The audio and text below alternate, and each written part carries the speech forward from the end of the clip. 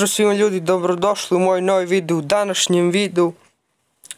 Kao što vidite stigla nam je nova Brawl Pass sezona koja se zove The Galdern Gang. E, kao što vidite ja sam već porešavao questove koji su izašli na tu, evo ovdje u questove. Ostali su mi još ovo dva, njih ću kasnije. Tako da, danas ću vam pokazati, izvinite što me nije dugo bilo, šta bi ovo sad? Šta se desilo?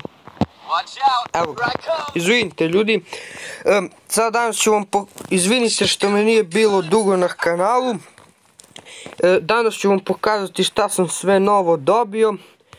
Kao što vidite, Bull na 25. ranku. I dobio sam dva nova brawlera, to su Max i Sandy. U jednom danu, ljudi. Danas ćemo odigrati jedan game, evo ovu neku novu mapu. Može, ajde.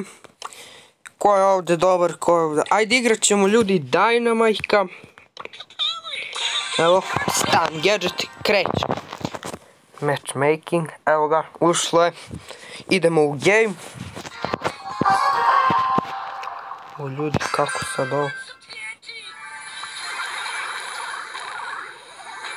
Ne, evo ga. Dobro. Beži broku. Gdje ovaj broku mnogo živcira. Kukuju šta je naravno. Imaju Taru Power 1, mi ćemo možda izgubiti. Pa to ne sme da se desi u ovom vidu. Kako je ne mogu da je ubije? Dobre, dobre, dobre. Ne gub, ljudi vodimo dosta. Dobre, idemo bum, bum, bum, bum. Kao što vidite, pobedili smo. I eto ga, to bi bilo to što se tiče ovog videa. Ja se nadam da vam se svidio. Ako jeste, bacite like i subscribe. I to je to. Vidimo se. Ćao.